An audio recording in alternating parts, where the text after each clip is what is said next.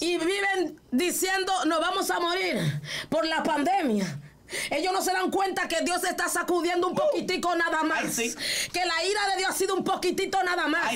Pero si Dios derrama su ira, mira, ¿qué quedaría de pies? ¿Qué podría quedar de pies? Aleluya, porque Dios está hablando. Pero la gente no quiere escuchar la voz de Dios.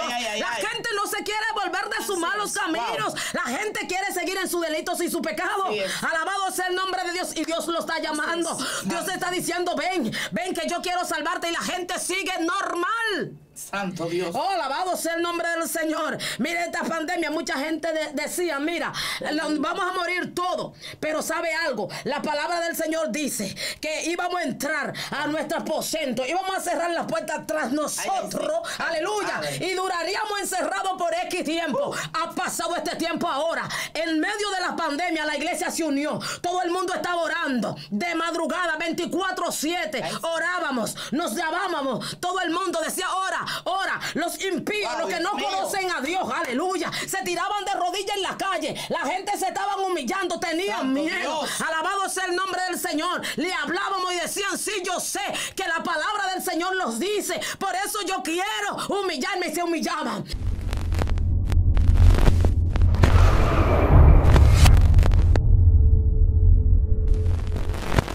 Dios le bendiga, Dios le guarde en este hermoso día. Le hablo a su hermana y amiga Yesenia Castillo. Hoy estamos con una mujer que porta a Dios, que porta una palabra. Rápidamente vamos a dejar que ella se presente. Muchas gracias. Mi nombre es María Esther Abad de Olea. Amén. Y como todos saben, nunca estamos solos. Estamos con una mujer que porta candela. Ella también se va a presentar. Gloria a Jesús, Dios te bendiga y Dios te guarde. Gloria a Dios. Mi nombre es Scarlett Dosuna y estamos a la expectativa de lo que va a pasar. Gloria a Dios. Amén. Amén. Fluye, sierva. Alaba. Vamos a leer la palabra de Dios en el Salmo 5. Amén. Vamos a considerar unos cuantos versículos. Salmos 5, leemos en el nombre del Padre, del Hijo y del Espíritu Santo. Amén. Escucha, oh Jehová, mis palabras, considera mi gemir. Está atento a la voz de mi clamor, Rey mío y Dios mío, porque a ti oraré. Oh Jehová, de mañana oirás mi voz, de mañana me presentaré delante de ti y esperaré. Gracias Dios por tu palabra. Gracias Jesús. Pues bien, dándole gracias a Dios porque nos ha permitido un día más de nuestra vida. Amén. Le damos gracias Señor porque siempre está dispuesto para escuchar nuestra oración. Y este salmo impactó mucho mi vida ¿Por qué impacta mi vida? Porque se habla de la oración. Amén. Por ende, en esta tarde vamos a hablar bajo el tema el poder de la oración. Santo. El poder de la oración. Aleluya. Porque estamos en un tiempo malos y peligroso. Amén. Y necesitamos oración más que nunca. Necesitamos orar más que nunca. Estamos en un campo de, de fuego donde la iglesia de Jesucristo tiene que estar orando más que nunca. Donde la iglesia de Jesucristo tiene que estar unida en oración. Y me regocijo mucho porque el salmista David dice, oh Jehová, escucha mi palabra y considera mi gemir. Gloria a Dios. David inicia este salmos con un llanto, con un dolor con una tristeza en su corazón porque le estaba pasando algo. Y él estaba orando, pero sentía como que Dios no lo escuchaba. Y en un momento dado comenzó a decir, escucha, oh Jehová, mis palabras, considera mi gemir, oye bien, Padre, está atento a la voz de mi clamor, Rey mío y Dios mío, porque a ti oraré. pero algo importante que él dice, de mañana me presentaré delante de ti y oraré y voy a esperar. Te está diciendo que cuando tú te levantes, tienes que orar. No puede ir al trabajo sin orar. No puede hacer nada sin orar. Porque la oración es lo que te va a mantener. A través de la oración, aleluya, es que tú vas a mantenerte firme. Sin oración, un cristiano no puede vivir. Sin oración, una iglesia no puede crecer. Sin oración, nosotros no hacemos nada. Porque cuando tú oras, tú estás hablando con Dios. Cuando tú lees las palabras, Dios te está hablando a ti. Entonces Dios. Dios exige que oremos. Constantemente en la oración debemos estar orando porque el enemigo no se queda tranquilo. Satanás y su demonio están dispuestos a hacerte la guerra días y noches. Día tras día te hacen la guerra. Pero la oración, ay Dios mío, que hace el pueblo de, Dios. La oración que tú haces es que va a impedir que el enemigo te destruya. Que el enemigo destruya tu familia. Que el enemigo entre a los lugares donde no tiene que entrar. Satanás para entrar a un lugar no pide perdón Ay, Dios mío, pero cuando el pueblo de Dios está de rodillas, cuando una mujer está de rodillas, aunque el diablo le haga mueca, mira, no tiene miedo. porque es que estamos en oración. Es que la oración te permite a ti estar conectada con el Padre. Y cuando tú estás conectada con el Padre, no importa que el diablo te haga mueca. Tú sabes que tú lo vas a vencer. Alabado sea el nombre de Dios. Escucha mis palabras. David le está diciendo a Dios, escucha por favor lo que te estoy pidiendo. Escucha por favor lo que te estoy diciendo. Estoy en un problema. Mis enemigos me están persiguiendo. Me están haciendo la guerra. Pero yo confío en ti. Por ende yo estoy orando. Por ende yo estoy conectado. Por ende yo te estoy necesitando, Padre. Escúchame por favor. Escucha mi gemir. Estoy llorando porque estoy angustiado. Cuando tú estás angustiado, tú cuando tú tienes problemas, tú oras. Cuando tú te enfermas, tú oras. Cuando hay personas que están enfermas, te piden la oración. La persona sabe que en la oración hay poder. Ay, Dios mío. En la oración hay poder. Y por ende es que todo el mundo pide la oración. Aún el que no es cristiano pide la oración. Porque sabe que en la oración se mueve algo importante. Algo extraordinario. Y a través de la oración Dios hace cosas extraordinarias en nuestra vida. Y David lo sabía. En pocas palabras, David le decía, yo sé que tú vas a hacer cosas extraordinarias conmigo.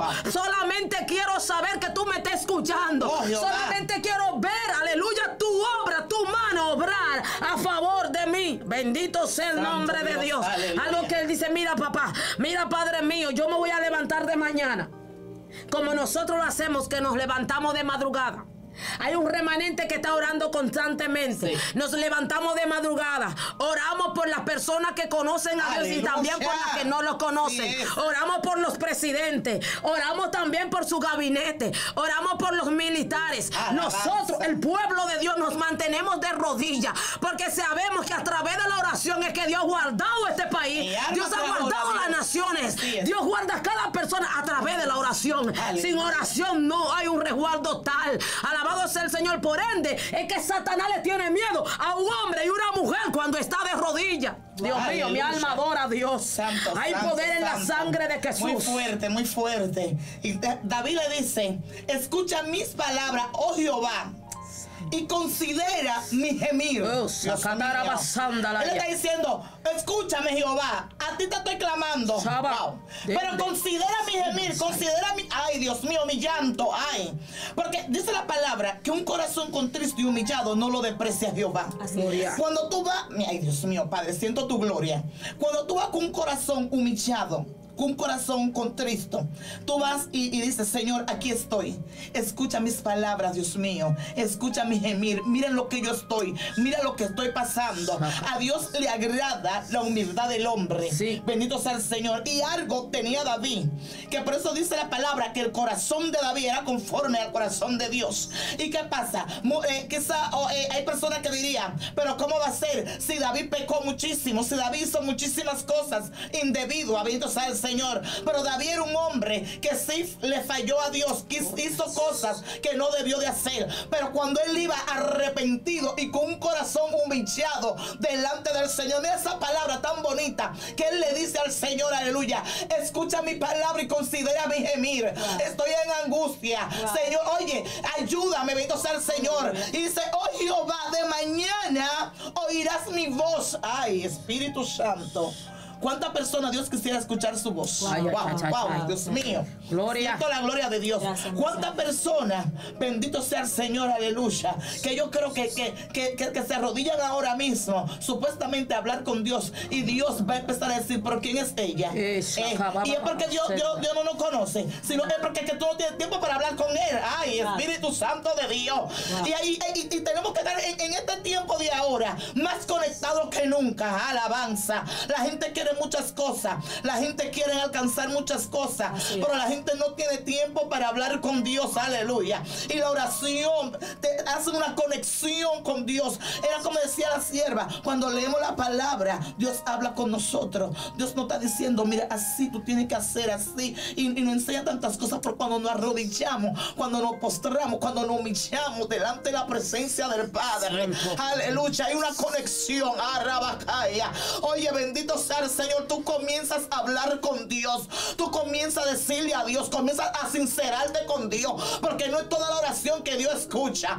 El poder de la oración tiene que ser sincero. El poder de la oración tiene que ser sin mentira. El poder de la oración tiene que ser sin engaño. Tiene que traer el corazón desnudo delante de Dios para que Dios resuelva tu problema. Ay, Dios mío. Aleluya. Wow, muy poderoso esto. Jesús. La Wow. oración. Santo. Es la oración, es simplemente hablar con Dios. Wow. Es premiado quien ora, gloria a Jesús. Amén. El que ora es premiado po- por, Dios. Santo. Obtiene todos los beneficios de Dios. Aleluya. Porque Dios Santo. es todo. Sí. Dios es un amigo, es un hermano, es un compañero, eh, es tu padre, es tu madre, es todo. Y yo me pongo a, a- a visualizar cómo tú vas a obtener una relación con un amigo si tú no le hablas. Ay, Dios mío. Alaba. ¿Cómo tú te vas a relacionar? ¿Cómo es posible que tú vivas en la casa de tu, de tu padre y que tú no le hables a Wow, tu padre? wow, wow. Que tú no te comuniques con Muy tu padre. fuerte. ¿Qué relación hay, hay ahí? No hay ninguna relación. Tú no conoces a tu padre ni tu padre te conoce a ti. Ay, santo, papá. En el caso secular, porque Dios Santo conoce a todo el mundo. Amén. Gloria a Jesús. Pero la oración es lo que te conecta con Él. Es lo que te hace acceder a sus misterios. Gloria a. Jesús. El que ora conoce el misterio de Dios. Aleluya. David lo muestra en cada uno de sus salvos. Gloria Alaba a Dios. De mañana me levantaré. Presentaré. Santo Dios. Aleluya. Espérame por la mañana. Wow. Santo es el- Espérame porque yo voy a darte. Llama. Santo es el Cordero. Es que en David había una sed, una hambre. Por eso él dice, como el siervo brama por la corriente Ay, ay, de la ay, ay, sal. ay, ay. Así brama por ti, oh Dios, el alma mía. Wow. Gloria a Dios. David era un hombre sediento porque conocía lo que alabanza el poder que Santo tenía la oración. Así es. Y es como usted dice, David pecaba, gloria a Jesús, pero sabía cómo conquistar a Wow, Dios porque Dios lo mío. conocía. Muy Santo, fuerte. papá. Conocía cómo conquistarlo. Alabo, Jesús. Porque el que ora conoce Sí. a Dios. La oración, gloria a Jesús, alabanza, hace que los muros vuelvan a ser Dios reconstruidos. mío. Alaba. La oración hace que el estéril para. Wow. Gloria a Dios. Gloria. La oración hace que el sol se detenga y Wow. también hace que la lluvia baje. Ay, ay, ay, ay, ay, ay, Dios. wow. ay, ay, ay, ay, ay, ay. Dios le está diciendo a alguien aquí, vuelve a la oración. Aleluya, Santo Dios. Vuelve al principio de orar. Santo es el. Cordero. Y comenzaré a mostrarte las cosas que me estás pidiendo. Amo, Hay gente que quiere fluir diferente, pero no están orando. Gloria a Dios. Hay gente que no están entrando al secreto. Hay Yes. gente que oraba de madrugada y ya dejó de orar en la madrugada. Wow. Por eso se ha detenido, gloria a Dios, por eso tu ministerio, porque el que no se comunica con Dios, alabanza, no puede fluir. Así es. Gloria. Porque el hombre sin Dios no es nada. Santo. Gloria a Jesús. Dios Nada. es el todo del hombre. Wow. Dios es el todo del hombre. Así es. Aleluya. Y como decía nuestra hermana Scarlett y también nuestra hermana Pastora, tenemos que estar en la oración. Un corazón contrito y humillado. Dios no lo desprecia. David Así se humillaba. David, todos los días, cada vez que pecaba, él Ah, pecaba. sí. Alabado sea el Señor porque él no era un ángel, él pecaba. Alabado sea el nombre de Dios, pero reconocía sus errores y se humillaba delante Sí, de Dios. aleluya. Por eso la palabra del Señor dice, si mi pueblo Wow, wow, wow, wow. se humillare. Y se arrepintiera de sus malos caminos, yo, yo Jehová, lo iré desde los cielos. Oye bien, lo iré desde los cielos. Perdonaría su pecado y sanaría la tierra. Se necesita gente que se humille para Dios sanar la tierra. Estamos en peligro. Ay, Dios mío. Pero se necesita una iglesia hay humillada ante la presencia de Dios. Se necesitan hombres y mujeres que se humillen, que reconozcan sus errores. Ay, Dios mío. Y se humillen ante Dios para Él perdonar nuestros pecados y sanar la tierra. Alabado sea el nombre de Dios, porque Dios conoce todo. Amén. Él está mirando todo. y nada se puede escapar de la mano de Dios, de los ojos de Dios. Donde quiera que vaya el hombre, ahí están los ojos de Dios. Se puede esconder donde quiera y no va a poder, porque los ojos de Dios llegan hasta lo más profundo. Donde quiera que vaya, ahí están los ojos de Dios. Bendito sea el nombre del Señor. Por ende, en esta hora te decimos, vuelve al principio, vuelve y ora, devuélvete de tus malos caminos. Vuelve a Jesús, vuelve a Jesús que Cristo viene. Esto está malo y peligroso. Todo lo que dice la palabra del Señor se están cumpliendo antes de su venida. Por ende es que la iglesia de Jesucristo estamos avanzando, estamos avanzando en la oración, estamos avanzando en las predicaciones. Es que nosotros sabemos que Cristo viene y estamos transmitiendo a la persona que reconozcan que Cristo viene por su iglesia. Y nosotros queremos que como nosotros también hemos alcanzado la salvación, ustedes que no conocen a Cristo la alcancen también. Por ende nosotros oramos y queremos que tú vengas, Cristo. Mira, la gente está asustada, amada. Y viven llorando. Gracias, Y viven diciendo, nos vamos a morir por la pandemia. Ellos no se dan cuenta que Dios está sacudiendo un poquitico nada más. Que la ira de Dios ha sido un poquitito nada más. Pero si Dios derrama su ira, mira, ¿qué quedaría de pies? ¿Qué podría quedar de pies? Aleluya, porque Dios está hablando. Pero la gente no quiere escuchar la voz de Dios. la gente no se quiere volver de sus malos caminos. La gente quiere seguir en sus delitos y su pecado. Alabado sea el nombre de Dios. Y Dios lo está llamando. Dios está diciendo, ven, ven que yo quiero salvarte. Y la gente sigue normal. Santo Dios. Oh, alabado sea el nombre del Señor. Mire esta pandemia, mucha gente decía, mira, vamos a morir todos. Pero sabe algo, la palabra del Señor dice que íbamos a entrar a nuestro aposento, íbamos a cerrar las puertas tras nosotros. Aleluya. Y duraríamos encerrados por X tiempo. Ha pasado este tiempo ahora. En medio de la pandemia, la iglesia se unió. Todo el mundo estaba orando. De madrugada, 24-7. Orábamos, nos llamábamos. Todo el mundo decía, ora, Ahora, los impíos, los que no conocen a Dios, aleluya, se tiraban de rodillas en la calle. La gente se estaban humillando, tenían miedo. Alabado sea el nombre del Señor. Le hablábamos y decían, sí, yo sé que la palabra del Señor los dice. Por eso yo quiero humillarme. Y se humillaban, y se humillaban, y estaban buscando. Pero de repente, cuando aplacó un poquito la pandemia, dejaron de buscar a Dios. Aún los mismos cristianos dejaron de orar. Dejaron de orar. Y Dios exigiendo oraciones y dejaron de hacerlo. Bendito sea el nombre del Señor. Sin embargo, la oración es el alimento del cristiano. La oración es nuestro sustento. es la espada que corta y destruye todas las acechanzas de Satanás. Satanás no te puede hacer frente cuando tú eres una mujer de oración. Tú sabes por dónde le va a salir a Satanás. Cuando él viene a tu encuentro, tú sabes cómo le va a salir. Alabado sea el Señor. Porque es una mujer llena de oración. Bendito Dios. Mi hermana Escalen decía algo ahorita que como una persona va a vivir en, una casa, eh, hablando de, los padres eh, terrenales, seculares, y, no vas a hablar con tu padre, ya que, la oración es hablar con Dios. Entonces, eh, pasaba algo con, con, el hijo pródigo, bendito sea el Señor. ¿Sabe que el hijo pródigo se fue? Y malgastó todo, cogió su herencia antes de tiempo, se fue. Pero ya cuando él vio que todo estaba, estaba eh, eh, terminado, gastado, que no hallaba qué comer, estaba ya en mala, como podemos decir, dice eh, que él volvió otra vez. Bendito sea el Señor, volvió donde el Padre. Pero qué bueno que el padre no le dijo a él, no, no te quiero en mi casa. El padre lo recibió, lo recibió, hizo fiesta, le puso anillo, le puso ropa. Pero que lo que a mí me impacta, que el otro, el más viejo que estaba ahí, le reclama al padre, mi alma adora a Dios, aleluya. Y el padre le dice, pero tú tuviste todo ese tiempo aquí y tú nunca pediste nada, tú nunca hiciste nada. ¿Eh? ¿Y por qué ahora tú sales con eso? Y así Dios nos está diciendo a nosotros, es que tú no oras. Dice, oye, es que ustedes están pidiendo, pues están pidiendo mal. Mi alma adora a Dios, aleluya. Mi alma adora al Señor. Están pidiendo mal alabanza. Porque muchas veces queremos pedir cosas que Dios no quiere darnos. Porque si no lo damos, vamos a perder, aleluya. Tenemos que cambiar la oración. No es solamente orar por lo que nos conviene a nosotros. Mi alma adora a Dios, aleluya. Porque mira cómo hizo Mardoqueo. Ay, mi alma adora a Dios.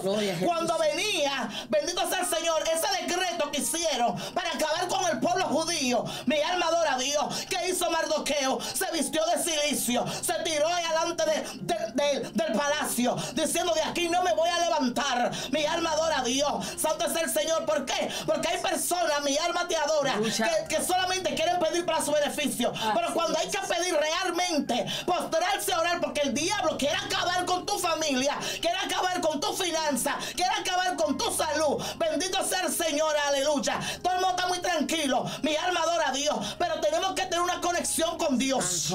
Tenemos que aprender a hablar con Dios. No es solamente por las cosas malas que nos esté sucediendo. Porque Job lo dijo claramente. Vamos a recibir lo bueno y lo malo no. Mi alma adora a Dios. La iglesia está como está porque no queremos orar. La iglesia está como está porque no queremos clamar. La iglesia está como está porque no queremos doblar la rodilla. Se dice una semana de oración. Y si, veis si la iglesia es de 200 personas, si van 50 van mucho. Porque nadie quiere hablar con Dios. Todo el mundo quiere que Dios le dé. Dios dame, Dios dame, Dios dame. Bendito sea el Señor. Tú ves que se hace una cadena. Mi alma adora a Dios. Y en vez de empezar a exaltar a Dios, a adorar a Dios, a glorificar a Dios, comenzamos, dame esto, dame aquello, dame esto, dame aquello. Y el Señor esperando una adoración que salga de la boca de su siervo. Una adoración que salga de la boca de su sierva. Solamente sabemos decir, Dios mío, dame. Pero no, tenemos una íntima comunión. No lo ponemos de rodillas para decir, Padre mío, yo te amo. Padre, yo te adoro. Gracias por lo que tú me has dado y por lo que no has dado. Gracias porque estoy de pie. Gracias porque me sacaste de ese lodo cenagoso. Gracias porque hiciste maravilla. Solamente pedir, solamente pedir, solamente pedir. Y muchas veces ni eso hacemos porque no tenemos tiempo para hablar con Él. Así es, Santo Aleluya. de Dios. Santo si Dios. Nos fijamos, el enemigo en estos tiempos principalmente está tratando de excluir la oración. Aleluya. Gloria a Dios. Está tratando de, arrancar la oración de muchos creyentes. Gloria a Dios. Porque como decía ahorita, el que no ora no conoce los misterios de Dios. Y es que el enemigo no le tiene miedo a una persona que vocea mucho, que grite mucho, gloria a Dios, que hable alto. Él no le tiene miedo a, una persona, gloria a Dios, que haga nada de esas cosas. Él le tiene miedo a una persona que se comunique con su Aleluya. Gloria a Dios. Porque cuando es como, es como eh, eh, los niños con su padre. Si, si, si le dan ellos, se lo voy a decir a mi papá. Así es. Y el otro niño se pone, se, se, se entra en miedo. Ay, se así. así se pone el enemigo. Ay, no deje que, que ella hable con su padre. No deje que se lo diga. Santo Dios. No deje que se comunique. Gloria a Dios. No permitan, no le permitan. Me imagino yo a Satanás diciéndole a los demonios, no le permitan que se conecte a la presencia. Porque es que cuando ellos se conectan a la presencia, nosotros tenemos que huir. Es que cuando ellos hablan con su Padre, alabanza, y consumen a su Padre, aleluya, entonces hablan vida. Santo es el Cordero de Dios, santo es el Cordero. Jesús dijo, me encanta esto. Él dijo, yo soy el pan de vida y el que me consume tiene vida. En tal manera que el que consume al Padre porta vida. y donde quiera que llegue, tiene que resucitar lo que está muerto. Dios. El poder de la oración. La virtud del hombre que ora, gloria a Dios, es que siempre tiene espirituales abiertos. Es que siempre sus sentidos espirituales están conectados. Gloria a Dios. El hombre que no ora es un hombre ciego, mudo y sordo. Ay, ay, ay. Santo papá. Santo es el Cordero. Porque tú te activas cuando tú te conectas a lo espiritual. Hay alguien que necesita conectarse de nuevo. Así es. Hay alguien que necesitas alabanza, que Dios le active lo que lleva por dentro. Sí. Aleluya. ¿Y cómo tú vas a obtener esto? Conectándote en oración, Wow, entrando en la intimidad, entrando en el secreto, cerrando la puerta, alabanza, y olvidarte de todo lo que está afuera, hasta que no te caiga la gloria, alabanza, no salir de esa ¡Ey, anda, alabanza! Santo. Santo es el Cordero. Por eso es que hay un ejemplo hermosísimo y es de Daniel. Dice la palabra de Dios que Daniel oraba tres veces al día. Él cerraba su en su apocentro y él abría la ventanilla de allá. Y la gente que lo observaban decía, bueno, ya ahí está el orador, ya ese está orando, pero no te preocupes, vamos a ver si él va a dejar de orar sí o no. Daniel seguía orando en el secreto, pidiéndole a Dios, aleluya, con su confianza puesta en Dios, alabanza. Dios. Y de repente el rey tiró un edicto que todo el mundo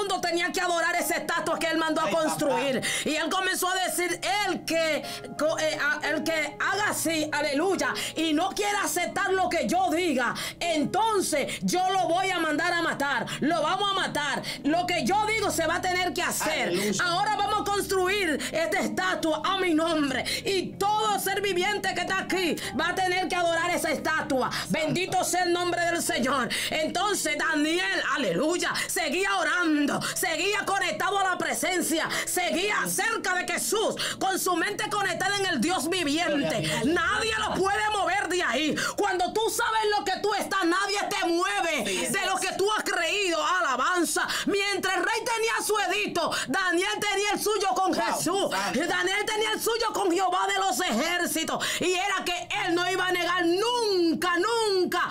Aleluya a Dios. Él no iba a orar. Por Sí. más que la gente quisiera, por más que el rey quisiera, Daniel no iba a dejar de orar. Y llegó el momento que comenzaron a adorar la estatua y fueron a buscar a Daniel para que también adore. Daniel le dijo, escúchame bien, rey. Pues si tú no lo sabías, te lo voy a decir con pausa. Mira, el Dios que yo le sirvo, si no me libra o me libre como quiera, yo esa estatua, esa estatua yo no la voy a adorar. Gloria a Dios. Tú quieres que yo la adore, yo no la voy a adorar. Sí es. Y si Dios quiere librarme, me vas a librar. Estoy hablando en mi palabra. Y si no, amén. No me importa que me maten, yo sé en quién he creído. Aleluya. Yo sé en lo que estoy. Y mientras yo estoy orando, yo estoy sintiendo algo que tú no sientes, rey. Wow. Yo sé algo que tú no sabes, rey. Haz conmigo lo que tú quieras. Ay, Dios Amén, mío. amén. Alabanza, Santo, Cordero así, de Dios. Señor, como eh, la sierva ha dicho, ¿verdad? Que es una palabra que ha llegado. Queremos que eleve una, una, una oración por esta audiencia para que se conecten con Dios. Alabado sea el nombre del Señor. En esta hora adoramos a Dios, honrando al Rey de Reyes y Señor de Señores. Reconociendo que debemos ser un Daniel. Santo. Tú que vas a ver este video, te decimos, aleluya, que así como Daniel oraba, tú también, aleluya, ese mismo ejemplo y ore tres veces al día, sin importar nada. Alabado sea el nombre de Dios, porque a través de la oración sucede milagro. A través de la oración Dios restaura.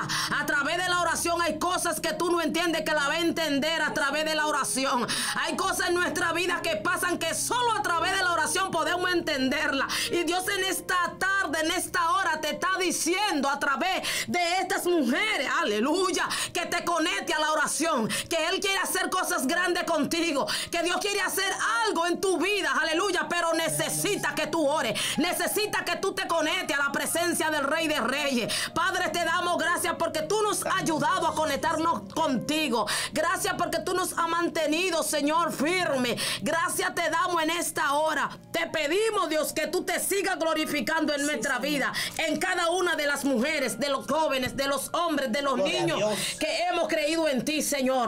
Te damos gracias en el nombre de Jesús. Amén. Posiciónate en Jesucristo. Aleluya. Amén, Amén. Así como siempre te pedimos que le dé me gusta, que compartas, eh, que te conecte con nosotros todos los días, porque hay una palabra para ti. Así te pido que te conecte en el secreto con Dios. Comparte este video. Sé que va a ser de mucho beneficio para cada uno de ustedes. Esta- estaba contigo tu hermana y amiga Yesenia Castillo. Scarlett Osuna. María Esther Abad, Dios te bendiga. Y esto fue Posicionadas.